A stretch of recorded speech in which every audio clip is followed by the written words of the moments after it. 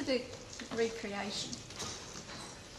If God's a loving God, okay, and He creates a soul that's then affected by parents, and over the eons of time the creation's gone on, and the, the level of soul, it's the density that the souls have created into.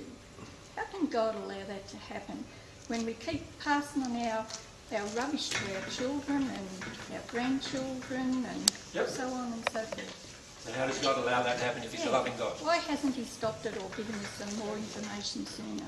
Right. Um, firstly, the question that you're asked comes from an emotion within you. Where, and, and by the way, many of you have this emotion where you do not trust God. Right? And you don't trust God because you see all of these things happening around you that you see as evil or bad. And then you wonder how God can relate, can actually allow these things to occur. How he could have created his laws in such a manner that allow these things to occur.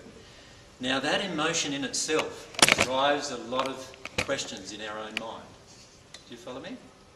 So, firstly, recognise that it's an emotion that's driven the question. And it's a good question. Right, so, here's God.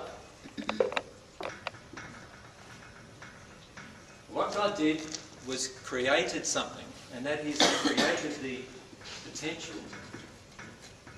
If I can spell potential right.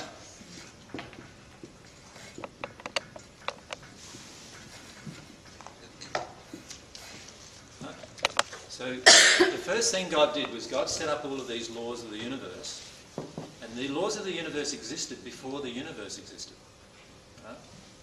You could say the laws of the universe are like a skeleton in which the universe has to live. Now, the laws of the universe are created in such a way that God created the potential for everything. So God created the potential for evil as well as the potential for good. And the way, the way God did that was God created this thing, this beautiful gift actually that you have called, called free will. Now, at the moment, we often use our free will in total disharmony to God's laws. And oftentimes, we often don't see our free will being exercised and the effects that it actually has on everybody around us. Uh, yesterday, I asked the audience um, how many of the ladies had a diamond ring on their finger. How many of you ladies have got a diamond ring on your finger? Okay, quite a number. Do you realise how many people died to put this diamond ring on your finger? Yes, it's a horrible movie. Yeah. Yep. Can you see that just your choice to have a diamond ring on your finger created the death of somebody? Now that's a pretty confronting statement, isn't it? Right? Lucky we n- people never die. It's lucky that they actually continue to live on in the spirit world. But can you see that just that one choice that seems innocent to us actually has so much power that it actually finishes up killing people on the other side of the world where these diamonds come from? Right? Now, can you see how, how we can't say God allowed something when we use our free will to make a choice that created some badness? You follow me? Can't God see that that free will that he gave humans in creation is destroying the planet? It's destroying... No, it's not the free will. The free will is not destroying the planet. It's the person's choice to use the free will in disharmony with love that destroys the planet. You see, it's like it's like I create a knife, right? I make a great big knife and I cut up my veggies with it. That's a pretty good use for a knife, isn't it? But I could also slit your throat with it. But now, who made the choice to slit your throat? Did the knife make the choice? Isn't the knife a handy tool? Just like this free will is like a beautiful gift. The knife is a gift. If you want to start cutting up, cutting up some veggies, isn't the knife the best tool to do it? And yet, we can use that tool to completely damage somebody to the point where we've killed them. Can you see how the, giving somebody a gift doesn't mean the responsibility rests with the gift giver? It, the responsibility rests with the person who uses this gift in the way that they've chosen to use it. Does that make sense? Before the soul separates, then do we get a choice not to separate? No, you can't. Well, at that moment, you don't have choice. No. Well, therefore, that's, you know, I don't have free will, do I? If I chose not to separate, then my parents couldn't have passed on their, their stuff to me. But if your parents chose to clear away all their emotions, you would have no emotions to deal with. Yeah, but they haven't, and what parents have? No one has. But all of us have the choice to do it. We can do it. But you're saying there's only a few of us that have gone and, you know, evolved back far enough to recreate again. So no parents have really. So what's your emotion? I'm angry. I am Exactly. angry.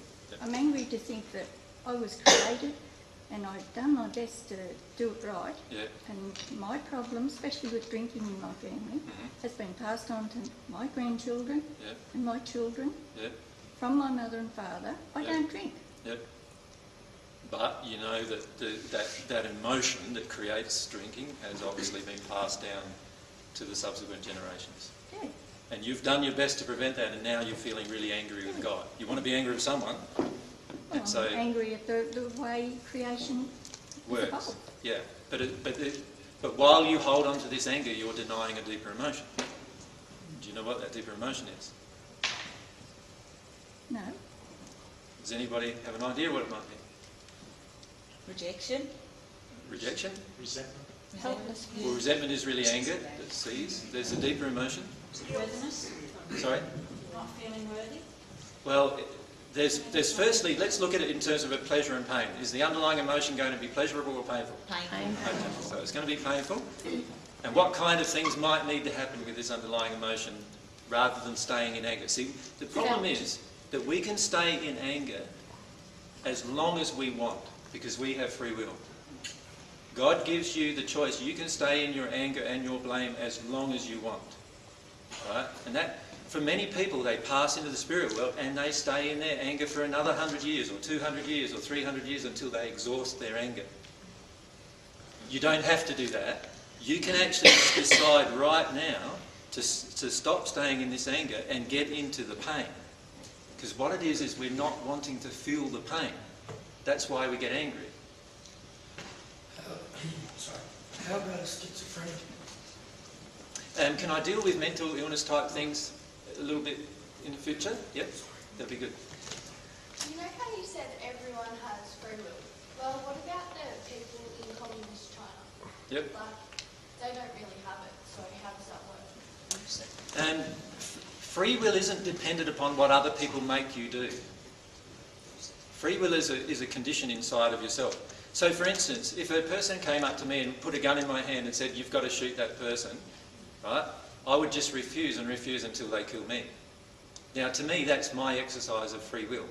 Now, to you, that may seem like I'm being forced to do something wrong, but to me, that, that's not ha- happening at all. I'm not being forced into doing anything. I don't have to do whatever anybody is telling me to do.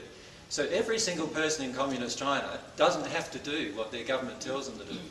They're just in so much fear that they all continue to do it. Right? And this is where fear often is what causes us to use our free will or to dampen our free will to such a point that we no longer feel we can make choices. The truth is that fear doesn't need to dominate your life. Right? So that's very important to understand.